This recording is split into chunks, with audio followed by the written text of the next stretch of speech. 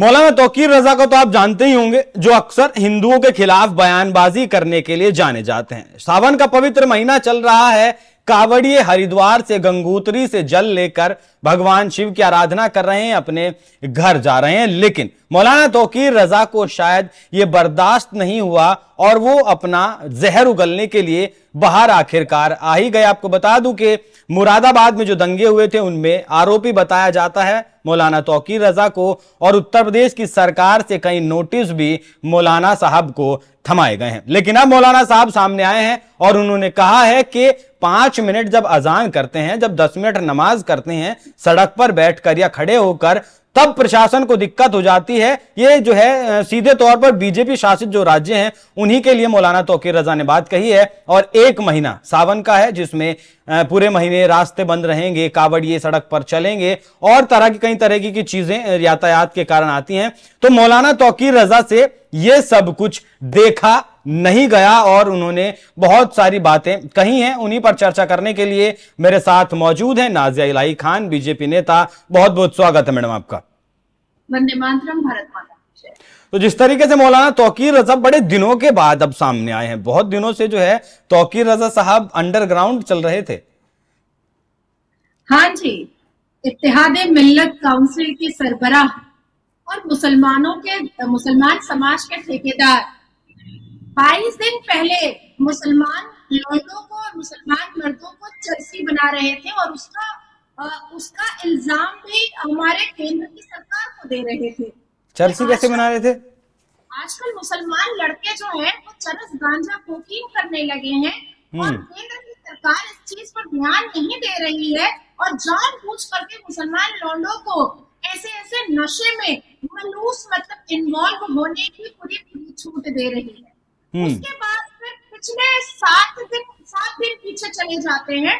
तो उन्होंने एक एक अपनी बात, अपनी वार्ता रखी थी कि वो इक्कीस जोड़ों का कन्वर्शन करवाएँगे और मास विवाह करवाएँगे, जिस पर भी उनको उत्तर प्रदेश के पुलिस डिपार्टमेंट से बड़ी फिटकार मिली।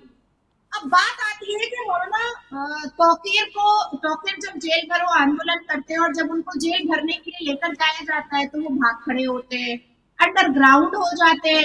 अब ये नहीं पता कि अंडरवियर के साथ अंडरग्राउंड होते हैं या अंडरवियर के बिना अंडरग्राउंड होते हैं। अब बात आती है कि कल फिर अपने आप को टीवी के चैनलों पर दिखाने के लिए और सस्ती लोकप्रियता और टीआरपी बनाने के लिए और टीवी पर जित करके कुरान की आयतों ज़्यादा दाम में बेचने के लिए। उन्होंने फिर एक बड़ी पाकिस्तानी ज़िंदगी उगलने वाली बात कही। उन्होंने कहा, पाँच मिनट की अजान बर्दाश्त नहीं होती है। उत्तर प्रदेश की सरकार को और उत्तर प्रदेश के पुलिस महकमे को दस मिनट की नमाज़ बर्दाश्त नहीं होती है, पर हम तो ये कावड़ यात्रा एक महीने की बर्दाश्त कर रहे हैं। अभिषेक जी, ऐसा है भारत के सभी लोगों को अजान का मतलब समझना बहुत ज़रूरी है सबसे पहले। उसके बाद मैं आपको बाकी की बात बताऊँ। अजान शुरू होता है बिस्मिल्लाह रहमान रहीम अल्लाह अकबर अल्लाह अकबर। अल्लाह is most great, Allah is most great. अल्लाह अकबर अल्लाह अकबर। अल्लाह is most great, Allah is most great. इलाहा, I testify that there is no god but Allah going to be noted ashhadu an la ilaha I testify that there is no god but Allah ashhadu anna muhammadur rasulullah I testify that Muhammad is the messenger of Allah Hayya alal salah. Come to pray. Hayya alal salah. Come to pray. Hayya alal falah. Come to salvation. Hayya alal falah. Come to salvation. Allahu Akbar. Allahu Akbar. Allah is most great. Allah is most great. La ilaha illallah. There is no God but Allah.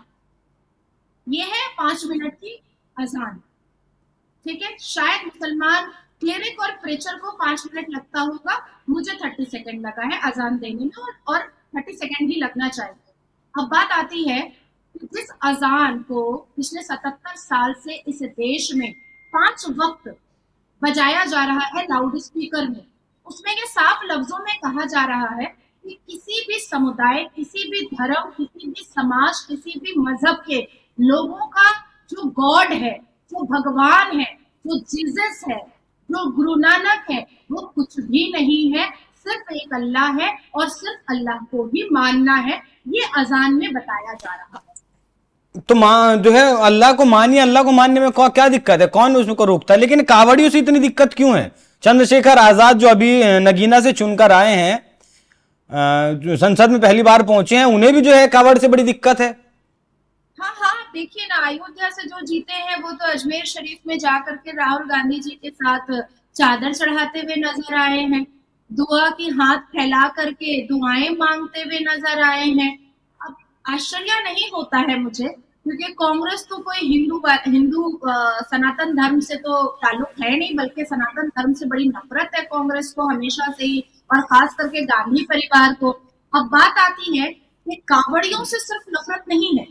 तोकेर या तोकेर जैसे मुस्लिम क्लियरिक और प्रेचर। नाजिया इलाही खान जब मंदिर जाती है, रुद्राक्ष पहनती है, और सनातन धर्म के पक्ष में बात करती है तो ये कहा जाता है, सारे मुसलमान क्लियरिक और प्रेचर कहते हैं कि ये बागी मुसलमान है और कई नेशनल न्यूज़ पर मुस्लिम पर्सनल लॉ बोर्ड मुस्लिम इतिहाद मजलिस मुस्लिम इतिहाद और मुस्लिमीन के आम आदमी पार्टी के प्रवक्ता और महमूद मदनी के लफंतर लोग सबको ही मुझे नेशनल न्यूज़ पर कहते हैं कि ये बागी मुसलमान है, ये मंदिर जाती है, ये भगवान को मानती है, ये रुद्राक्ष पहनती है। अब क्योंकि भांडा फूट चुका है, मैंने तो दिल्ली में पूरा सीपी में और हर जगह सुप्रीम कोर्ट के बाहर में पूरा चर्चाएँ आम कर दिया कि भैया जब नाजिया जो है वो बागी मुसलमान है तो जो लोग, जो मुसलमान, ढाबे का नाम महाकाल और दुर्गा रखे हैं, वो भी तो बाकी मुसलमान है तो उनके पक्ष में ये कॉकरेज जैसे लोग खड़े क्यों हो रहे हैं? फतवा जारी कर देना चाहिए। फतवा जारी करो और इस्लाम से बागी करो उन लोगों को। लेकिन लेकिन सिलेक्टिव राजनीति और स्ट्रेटेजिकली पॉलिटिक्स करना ये मुसलमानों से बेहतर और किसको आता है या कांग्रेस से बेहतर और किसको आता है? क्या तोकिर रजा इस बात को इनकार कर सकते हैं? कि कुरान सूरा नंबर दो, आयत नंबर 191 में डिसबिलीवर को मारने की बात कही गई है। क्या तोकिर रजा इस बात को इनकार कर सकते हैं? कि कुरान सूरा नंबर तीन, आयत नंबर 28 में इनफेडल्स मतलब काफिर को मैदान में पटक पटक कर मारने की बात कही गई है। क्या कुरान सूरा नंबर तीन, आयत नंबर पचासी में ये कहा, ये नहीं कहा गया है जो इस्लाम मानते हैं सिर्फ़ वही इंसान है। इसके अलावा किसी को इस, इस दुनिया में रहने की इजाज़त नहीं होनी चाहिए। क्या कुरान सूरा नंबर पाँच आयत नंबर तैतीस इस बात की गवाही नहीं देता है कि काफिरों को ऐसा मारो कि उसके पुष्ट दर पुष्ट याद कर सके और ऐसी कई कई सूरतें हैं जिसमें यह बात लिखी हुई है। इस बात को बताया गया है। और तोकिर रजा ने अपने आप को इस अथॉरिटी की पोजीशन में डाला भी कैसे कि वो ये कह कह दिए आराम से पाँच मिनट की अजान नहीं बर्दाश्त हो रही है भैया। ये इस भारत के सबसे बड़े मेजोरिटी के सनातनी की वजह से बहत्तर फिरका बड़े आराम अच्छा एक बात बताइए नाजिया जी। योगी आदित्यनाथ से राहुल गांधी सीधे तौर पर नहीं टक्कर लेते। अखिलेश यादव सीधे तौर पर नहीं टक्कर लेते। लेकिन मौलाना तोकीर रजा सीधे तौर पर टक्कर ले रहे हैं। आपका जो है बरेली में जब वो जेल भरो आंदोलन की बात हो तब का आप बात ले लीजिए। अभी जो आपने बताया सामूहिक निहा कर निकाह करवाएँगे वो ले लीजिए। अब कावड़ यात्रा पर सवाल उठाने के मसले को आप ले लीजिए। तो जो सीधी टक्कर योगी आदित्यनाथ से ले रहे हैं तो क्या सस्ती लोकप्रियता या कुछ और है दिमाग में? सस्ती लोकप्रिय ये साथ में ये भी जोड़ लीजिएगा। कह चुके हैं कि अगर हम खड़े हो गए तो जो है पता नहीं क्या कुछ कर देंगे। अभी तो हम शांत हैं हमें ना छेड़ें। नहीं नहीं सस्ती लोकप्रियता तो है ही है। पर ये जितने भी दाढ़ी टोपी वाले टीवी चैनलों पर अपनी टीआरपी बढ़ाते हैं उसी हिसाब से फिर वो कुरान की आयतों को बेच करके अपने घर की लैविश लाइफ भी चलाते हैं। हम्म। ये हाफिज सईद जैसे दाढ़ी टोपी वाले भारत में घुसे हुए आतंकवादी हैं और कुछ भी नहीं कुछ भी नहीं है। अब आपने कहा कि राहुल गांधी जी कभी भी सीधा सीधा योगी आदित्यनाथ जी से टक्कर नहीं लेते हैं। चलिए मैं इस बात को मानती हूँ लेकिन फकीर रजा का उठना बैठना खाना पीना पैसा कौड़ी का लेन देन सब कुछ कांग्रेस के साथ है। नहीं है? प्रियंका वाड्रा के साथ नहीं है? क्या जेल भरो आंदोलन करने से पहले तोकिर रजा दिल्ली जा करके प्रियंका वाड्रा से मिलकर नहीं आया था? बिल्कुल। रजा ने जो अपनी अपनी गाड़ी में एक स्टेटमेंट दिया था और उसको ट्वीट किया था। वो दिल्ली से उत्तर प्रदेश के ऑन द वे हाईवे पर रोक करके उसने उस स्टेटमेंट को रिकॉर्ड किया था जब वो प्रियंका वाड्रा से मिलकर आ रही थी। आ रहे थे। इस बात को क्या तोकिर रजा इनकार कर सकता है? या तोकिर रजा की जिहादी एक्टिविटीज़ को अंजाम दिलवाने के लिए प्रियंका वाड्रा से फाइनेंशियल सपोर्ट नहीं मिलता है? बिल्कुल मिलता है। प्रियंका वाड्रा एक बहन होने का बहुत अच्छा फ़र्ज़ निभा रही है और राहुल गांधी एक बेटा होने का बहुत अच्छा फ़र्ज़ निभा रहे हैं।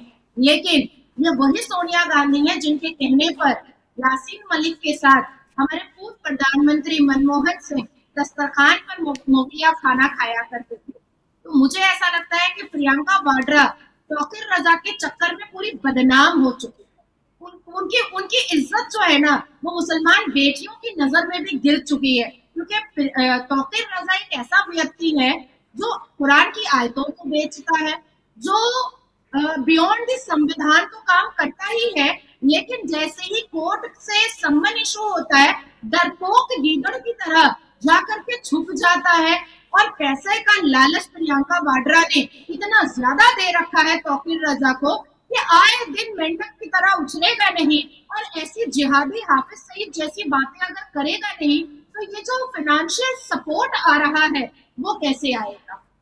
हम्म ये भी बात आपकी सही है फाइनेंशियल सपोर्ट कैसे आएगा? लेकिन योगी आदित्यनाथ कोई कड़क एक्शन भी नहीं ले रहे हैं तोकीर रजा के ऊपर। देखिए योगी आदित्यनाथ जी हमेशा संवैधानिक तरीके से सारे काम करते हैं और बहुत ही सजग तरीके से वो अपने काम को अंजाम देते हैं। तोकीर रजा का के भतीजे के नाम से जो एक पूरा बाज़ार था। उस ज़मीन को अखिलेश यादव के जमा के सरकार के वक्त में तोकीर रजा ने हड़प किया था और उस पर पूरा बाज़ार बनवाया था। नगर निगम के नोटिस के बाद जैसे ही वो बाज़ार तोड़ा गया है, उसको चटल मैदान बनाया गया है। तब से तोकीर रजा ने इसको थोड़ा सा पर्सनल भी ले लिया है। लेकिन सामने योगी आदित्यनाथ जी है। कहते हैं ना कि बस एक गलती और और जेल और जेल की सलाखें खुल जाएँगी तोकीर रजा के लिए। तो कभी तोकीर रजा मुसलमान मर्दों और पुरुषों को ही गंजड़ी बताते हैं।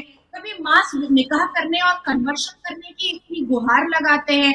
और कभी पाँच मिनट के अजान और दस मिनट के नमाज़ के लिए अपनी आवाज़ ऊँची करते हैं। लेकिन ये कहना भूल जाते हैं कि पाकिस्तान में तो मस्जिदों में बम फटता है, लेकिन तीन लाख से ऊपर एक्टिव मस्जिदें हमारे भारत में ही है। योगी आदित्यनाथ जी, जिस दिन सर से पानी उतरेगा उस दिन तोकीर रजा की औकात एकदम सही से याद दिला देगी चलिए तो जिस तरीके से तोकीर रजा ने बयान दिया है कि अजान में क्या दिक्कत है, बल्कि पूरे महीने कावड़ चलती है तो इस पर तमाम तरीके के बयान भी सामने आ रहे हैं, पक्ष के भी, विपक्ष के भी। न्याजा जी से भी हमने जाना किस तरीके से जो है तोकीर रजा काम करते हैं, इनका जो संगठन है आईएमसी वो किस तरीके से काम करता है? अब देखते हैं कि कई तरीके के केस भी मौलाना तोकीर रजा के ऊपर चल रहे हैं। बाकी आगे क्या कुछ इस मामले में होता है? सरकार की तरफ़ से, शासन की, प्रशासन की तरफ़ से तोकीर रजा पर कोई एक्शन लिया जाता है या नहीं लिया जाता है? नाजिया जी, इस चर्चा के लिए आपका बहुत बहुत धन्यवाद। बाकी आपको चर्चा कैसी लगी? कमेंट कर में ज़रूर बताइएगा। नमस्कार।